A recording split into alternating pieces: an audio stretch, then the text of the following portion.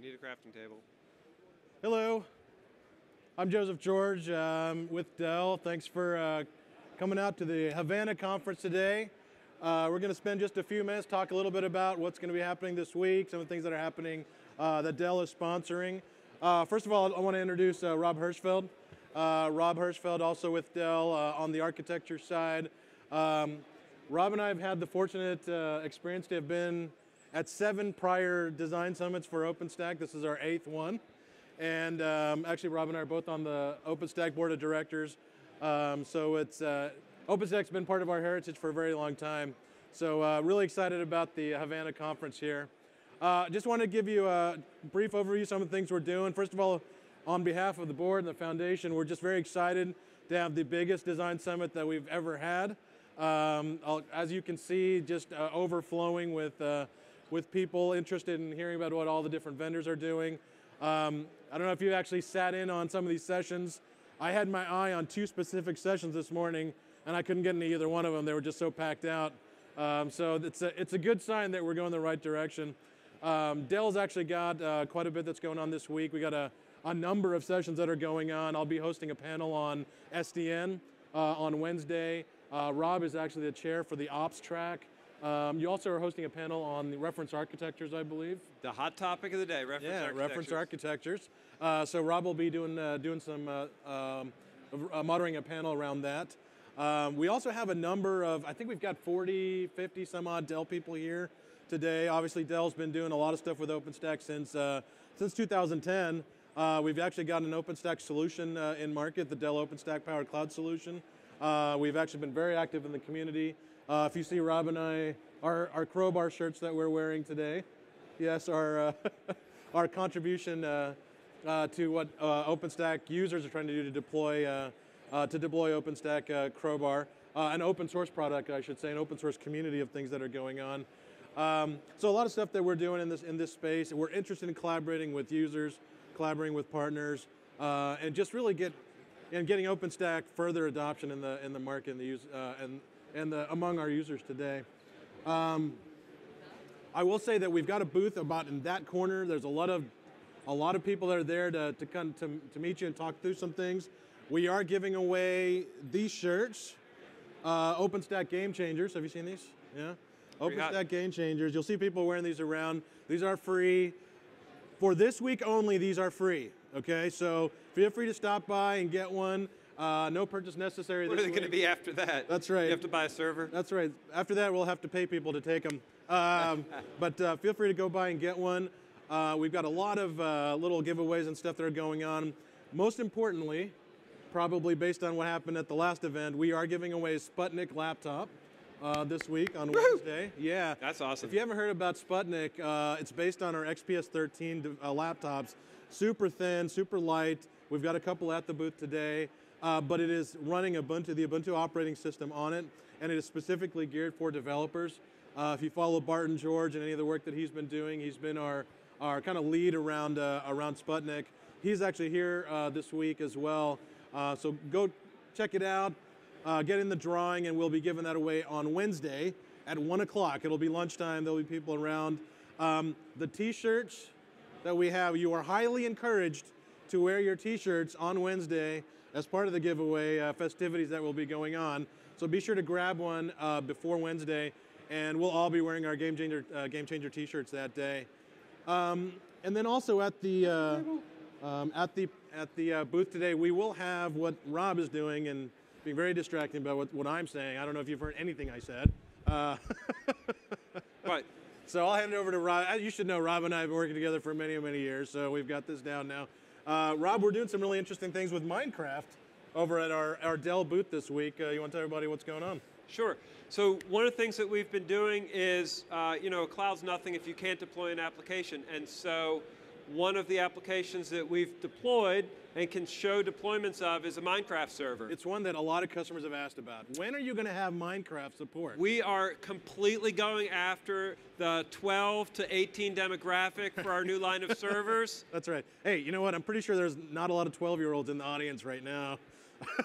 but I'm sure they're all playing uh, Minecraft. We're going to check IDs later. Yeah, that's right. Make sure. So if you have 12, actually six year old to 30 year olds, um, Minecraft, eh, Minecraft, you mine, you collect things and then you build stuff with it. Is a very hot game. It is a um, create. It's a sandbox game, meaning that I, I have it running right here. And you can play it individually. You can play it on iPads. You can play it off of shared servers. Uh, and so I, i am telling you, I've seen six-year-old girls completely engrossed in this game. It's a collaborative game, so when people play on servers, they actually build things together, and then they can you can actually get to the point where you build scripts and things like that. So my teenage my teenage sons actually build very sophisticated scripts inside of these environments. So they can you can make it into a shooter type game. You can make it into a purely creative game where you fly around the world. You can do just you know almost Second Life type hangout and virtual environments. Um, the way this this new generation of digital natives is using this game is truly impressive. So if you if your kids are asking about Minecraft, it is a safe game. It's a lot of fun to play with. It's not like uh, World of Warcraft where they're going to get sucked in. Have a great time, but get sucked in. Um, so Rob, what are we doing over at, at the Dell booth with Minecraft this week? So what we're doing at Minecraft is we have a running Minecraft server and we can connect you up to it. We can show you how to deploy it using uh, Juju off the Sputnik laptop. And then, you know, of course, this session is to help you do the most essential part of that, which is actually play it. Now, okay? what's it running in the back end? It's running. This is this is what Minecraft looks like. And guys, it looks incredibly 8-bit. It's part of its allure. I, it's it's stunning to me that uh, how interesting. How many people have heard of Minecraft? Surely we can't be. Yeah. Okay. So you guys know what this is. Yeah. So how many people have played Minecraft? All right. Wow. You guys can help me because wow. I am not much. I, am not much of a crafter. Yeah. What I want to do is I want to show you enough that you can at least get started in the world. Because the way it works is you don't get anything until you've built something, and it uses this, the classic ASD navigation, right? So you can do ASD and w, ASDW, move around, and from there you can take, if you hold down your left mouse click, you can start uh, basically taking things apart. So the this is the action, is that you come in and you act, you start, you click until you the thing that you have collapses into an inventory item, and then it shows up in your inventory. There's not gravity; it only affects certain things. That looks dangerous, Rob. So I can, yeah, my tree is, is just fine. But what happens is from there, once I have wood, I can then take the wood and actually take, take that wood and I can build something. In this case, sticks. So this is the way this, this is the way it works. I take my sticks. Once I have my sticks, I can create a, a crafting table out of my sticks. Hold on. So what I'm doing is I am right-clicking to put. Sorry. What I did was I put four pieces of wood into my crafting area to create what's called a crafting table. So this is, this is Minecraft. I take inventory items, I put them into the crafting table in interesting arrangements, and I get new, new items. Yeah. Okay? That, that's the majority. And then what happens is, so I press E to get this, this my, uh, crap, my, I get, I press E to get my item, I scroll my mouse to change my tools. If I walk up, I've already made a crafting table. Let me do this. Here's my crafting table. I just put the new one I just made down. If I walk up to the crafting table and press, ah, where am I doing? Why am I not able to craft? There you go. If I walk up to the, the table and, and right click, then I can use the crafting table. You'll notice the difference now is that I have a bigger grid. Bigger grid lets me do things like take my planks. I needed sticks, so let me get let me take get my sticks. Oh, that's a pressure plate. Woo.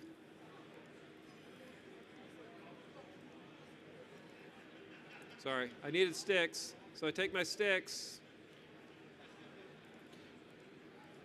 So what you can see happening is I'm going through and I'm build, I'm actually taking things. I need to build a, oops, I don't need more sticks. So here's the trick. What I want to do is I want to go and build some interesting stuff to make. So this is how I make uh, wood, I can make sticks, I can make an oven, I can make torches, and I need some tools if I'm going to do something interesting. Almost out of time here. So if I want to make a wooden axe, which makes it easier to chop down trees, it's actually switching to different materials. I need two sticks and some wood. You see how I place them in here? So what I want to do is I'm going to take these out. And I'm going to take my wood.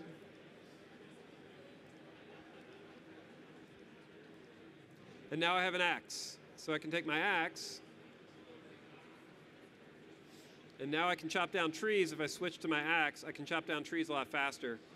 Or I can chop down hardwood trees. So all this I- is running. I, I this is where I was going with this, Rob. We're, all this is running on an OpenStack cloud over in, in at a Dell data center. Uh, we've got we've got laptops over in the booth. Come out and play it. If you feel um, if you feel like you're not going to be good at this game, and I'm looking exactly at Wayne Walls. Uh, if you don't feel like you're going to be good at this game, you can get a version of it on your phone and play real quick. But go check it out. It's very cool. Um, like I said, we'll be giving away some prizes today. Uh, and just as the last thing, if you'd like to learn a little bit more about what Dell is doing, not with with Minecraft, but more around OpenStack, uh, you can you can uh, visit us at dell.com slash OpenStack. You can drop us a line at openstack at dell.com.